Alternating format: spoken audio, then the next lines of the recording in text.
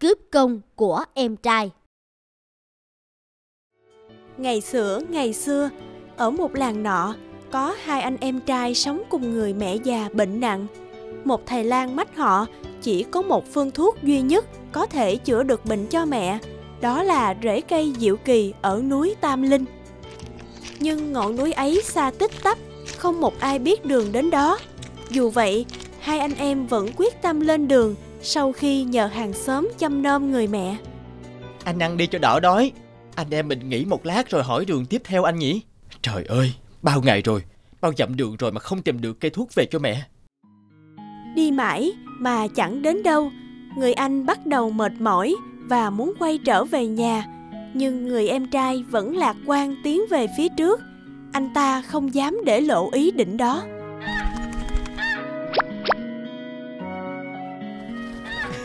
Anh nhìn xem, có phải con xếu kia đang muốn gọi hai anh em mình đi theo nó hay không anh? Xếu xiết thì biết gì. Anh ơi, nó biết đường đấy. Chúng ta phải vượt biển theo nó thôi. Em sẽ tìm một chiếc thuyền. Chú cứ đi theo nó đi. Anh chờ ở đây. Nếu không thấy chú quay về, thì anh sẽ về nhà. Không thể để mẹ một mình quá lâu được. Người em tìm được một chiếc thuyền và chèo thuyền theo con sếu. Rồi nhiều ngày nhiều đêm trôi qua, con sếu cũng dẫn chàng đến một bờ biển.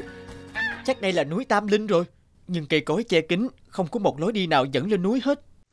Người em cứ vạch lá mà đi, dù bị gai nhọn cào rách cả da thịt, chàng cũng không bận tâm. Cây thuốc quý có thể chữa bệnh cho mẹ là cây nào đây? Loại rễ thần kỳ kia chỉ lộ diện trước những người con dành cho mẹ tình yêu sâu sắc nhất. Ta hy vọng rằng thần linh trên núi Tam Linh sẽ phù hộ cho con tìm thấy cây thuốc quý. Khi người em đưa mắt tìm kiếm những bạc ngàn cây lá, chàng thấy một cái cây bé nhỏ nhưng rực rỡ vô cùng đang vươn lên từ vách đá treo leo. Cái cây đung đưa trong gió như nói với chàng, tới đây hái tôi đi. Ôi, đây chính là loài cây kỳ diệu mình cần tìm rồi. Đúng là nó rồi, rễ cây diệu kỳ đây rồi. Trời ơi, có phải em mình về kia không? Chả lẽ nó đã tìm được thuốc quý? Không được, mình anh cả thì không thể để cho chú em lập công một mình được. Nếu ai biết thì còn mặt mũi nào nữa chứ. Được rồi, nếu nó ban được lợi rễ thần kỳ về, mình sẽ liệu cách. Chú đi đâu mà lâu thế? Mẹ không đợi được đã qua đời rồi. Tất cả là lỗi của chú. Chú, chú đáng bị trừng phạt lắm. Trời ơi, anh nói sao? Mẹ, mẹ đã qua đời rồi ư? À, à, anh ơi, anh ơi, cứu em ơi! Mẹ ơi, bác thuốc sắc từ rễ cây diệu kỳ ở núi Tam Linh mà con đã vượt qua bao đường xa nguy hiểm để hái về đây. Mẹ uống và mau khỏe lại mẹ nha. Em trai của con đâu? Nó biến đầu mất hút từ ngày đầu tiên. Nó vốn chưa từng có ý định đi tìm rễ cây thuốc quý cho mẹ.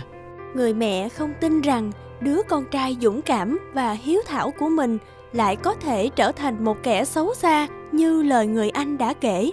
Nhờ cây thuốc quý, bà khỏi bệnh và khỏe mạnh trở lại. Nhưng làm sao bà có thể yên lòng được khi không còn người con trai yêu quý ở bên cạnh? Con trai ta đã cứu mày khỏi móng vuốt đại bàng và chăm sóc mày cho đến khi nó rời đi. Giờ không biết nó ở đâu, còn hay là mất, mày có thể đi tìm nó giúp ta được không? Đây là bức thư ta viết cho con trai của ta. Mày hãy bay đi và mang lá thư này đến cho nó nha. Trong khi ấy, ở một kinh thành xa xôi, rất xa nơi người mẹ đang ngóng chờ con, có một chàng nhạc sĩ mù đang thổi sáo cho công chúa Úc của nhà vua nghe. Đó chính là người em trai.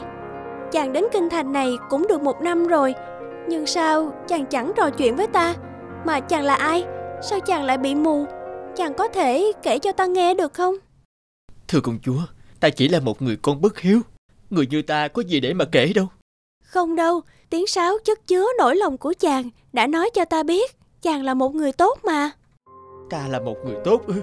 Ta đã để mẹ phải qua đời trong bệnh tật. Ông trời đã trừng phạt ta. Ta rơi xuống biển, sóng và đá đã khiến ta mù cả hai mắt. Rồi thủy triều cuốn ta đi. Tỉnh dậy trên bãi cát hoang vắng, ta đã định cứ thế mà chết đi. Nhưng rồi tiếng gió thổi vi vu qua khóm trúc đã níu ta ở lại. Ta nhớ mẹ đã từng dạy ta làm sáo trúc. Ta bèn làm một cây sáo trúc để thổi. Nhờ tiếng sáo ấy, có người tìm thấy ta. Rồi cũng nhờ tiếng sáo ấy mà ta được vào cung vua để ngày ngày thổi sáo cho công chúa nghe. Giá như ta có thể mang lại niềm vui cho tiếng sáo của chàng Này chẳng phải là tiếng kêu của ngỗng trời nhà ta sao Ngỗng trời mang gì tới cho ta chăng Nó mang đến cho chàng một lá thư đây nè Không biết ở nhà có chuyện gì chẳng lành không? Bao nhiêu năm qua con đã gánh chịu tội lỗi của mình rồi. Xin thần linh chốn núi thiên Hãy thương tình giúp đỡ con Cho con đọc được bức thư mà ngỗng trời mang đến. Con cầu xin thần linh hãy giúp đỡ cho chàng. Chàng thực sự là một người tốt bụng. Ta nhìn thấy rồi Mắt ta sáng trở lại rồi. Con, con xin cảm tạ thần linh. Nét chữ của mẹ ta đây mà Mẹ vẫn còn sống. May mắn làm sao Ta có thể cùng chàng về gặp mẹ, Trong thân phận một người con dâu được không? Mãi nghĩ về mẹ, Chàng trai đã quên khuấy mất công chúa. Bấy lâu nay, Nàng ở bên an ủi chàng. Giờ nghe giọng nói của nàng cất lên, Chàng mới đưa mắt tìm khuôn mặt nàng. Chàng thấy yêu nàng ngay từ cái nhìn đầu tiên. Họ xin phép vua cha được làm đám cưới. Nhà vua rất hài lòng với chàng rể dũng cảm và hiếu thảo, Nên hoàn toàn đồng ý. Ngài cho kiệu sơn son thép vàng đưa phò mã và công chúa về quê nhà đoàn tụ với người mẹ già. Người anh xấu xa cuối cùng cũng được tha thứ. Từ đó về sau, họ sống bên nhau trong yên bình và hạnh phúc. Phò mã vẫn ngày ngày thổi những khúc sáo, nhưng những khúc buồn đau của ngày xưa nay đã được thay bằng những điệu nhạc vui tươi và hạnh phúc. Sinh nhật cuối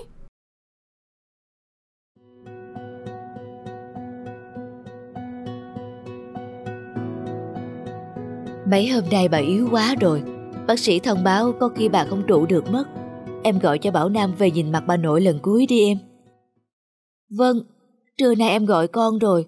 Chắc giờ này thằng bé cũng đang ở sân bay. Các con ơi, Lại đây mẹ bảo.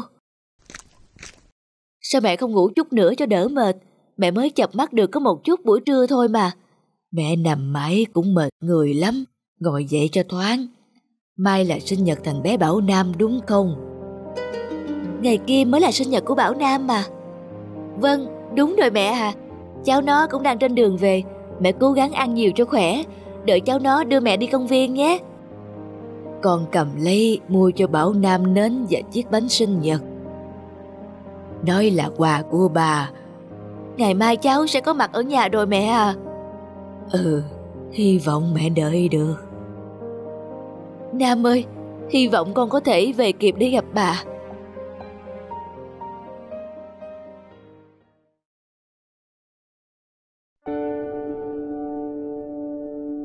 Bảo Nam gọi điện về cho em, nói bên đó có bão tuyết nên chuyến bay bị hoãn. Tầm sáng mai mới về tới. Làm thế nào hả anh? Hôm nay em thấy mẹ mệt lắm rồi. Trời tối rồi đó, Bảo Nam vẫn chưa về hả con? Dạ, trời sắp lập đông nên trời nhanh tối lắm mẹ à. Bảo Nam đến sân bay rồi, đang bắt xe về bệnh viện. Mẹ ăn cháo nhé, để con lấy. Ai, con đặt bánh lên bàn và thắp nến đi.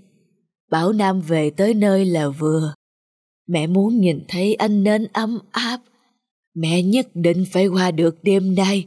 Mẹ không muốn Bảo Nam buồn vì sự ra đi của mẹ vào ngày sinh nhật. Làm thế nào bây giờ? Thằng bé vẫn chưa về. Nếu nến cháy hết mà mẹ chưa gặp được mặt thằng bé, Ôi, Mình không dám nghĩ nữa. À phải rồi. Vâng con đi thắp nến cho cháu. Bánh đẹp quá. Nếu mẹ có chợp mắt, Khi nào Bảo Nam về thì gọi mẹ ngay nha.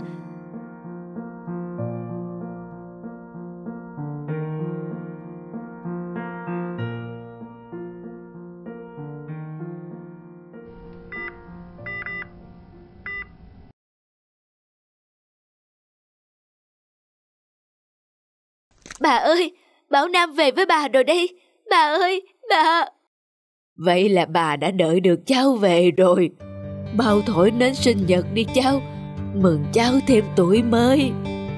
Vâng ạ. À.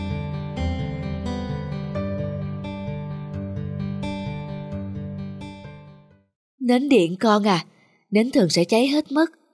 Bà không muốn ra đi vào ngày sinh nhật của con, sợ làm con buồn con lại về trễ nên ba mẹ muốn bà tin rằng ngày sinh nhật của con vẫn chưa qua để bà gắn gượng. Và con thấy đấy, bà đã gượng được ngần ấy ngày để đợi con. Bà ơi! Cháu cảm ơn bà đã đợi cháu và cảm ơn những ngọn nến thắp sáng hy vọng trong đêm tối. Cây hạnh phúc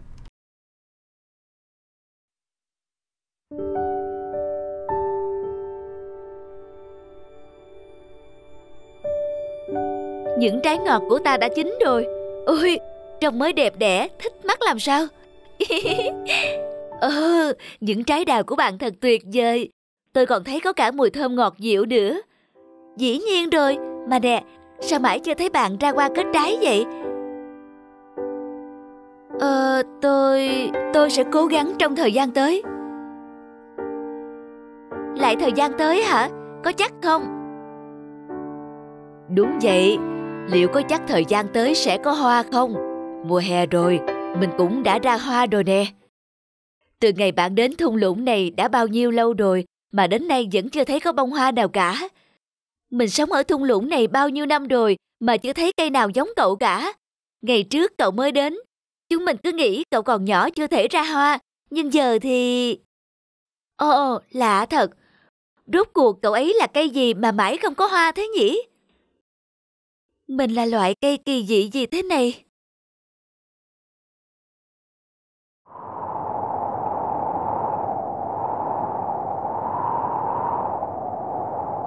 À, à! Kìa, một con chim bị thương. Là một chú đại bàng, sao cậu ấy bị thương nặng thế? Khổ thân đại bàng, chắc là lạnh lắm. Mình không còn cái lá nào để có thể ủ ấm cho cậu ấy cậu ấy bị thương nặng quá. Hãy để những cành lá của tôi ủ ấm cho cậu ấy.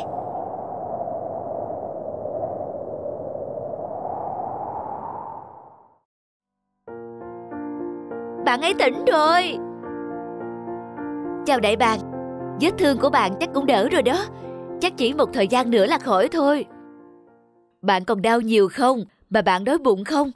Ôi, thật tiếc quá những trái đào của tôi giờ đã rụng hết cả rồi, chẳng còn gì cho bạn ăn tạm cả.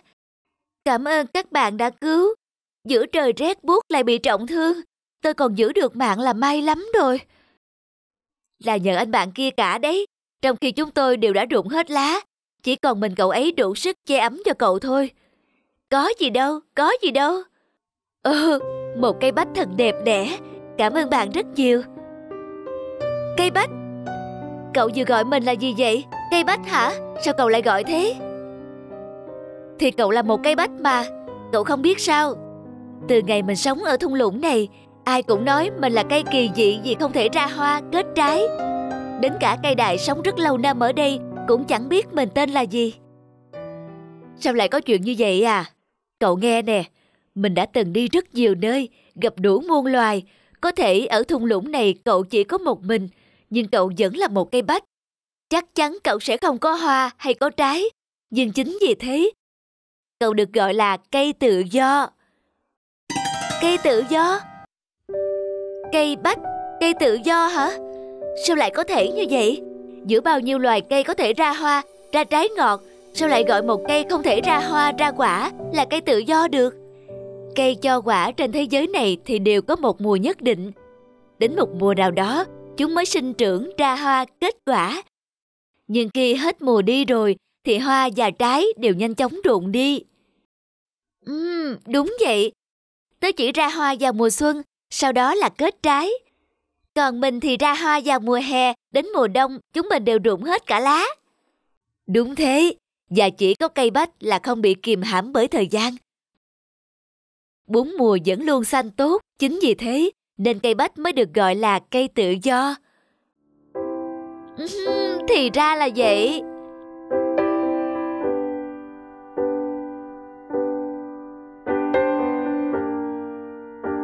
Chào các bạn tốt bụng, vết thương của mình đã lành. Giờ mình phải đi rồi. Chào đại bàng, chúc bạn thượng lộ bình an. Sống vui vẻ nhé, cây tự do. Cảm ơn đại bàng, tạm biệt.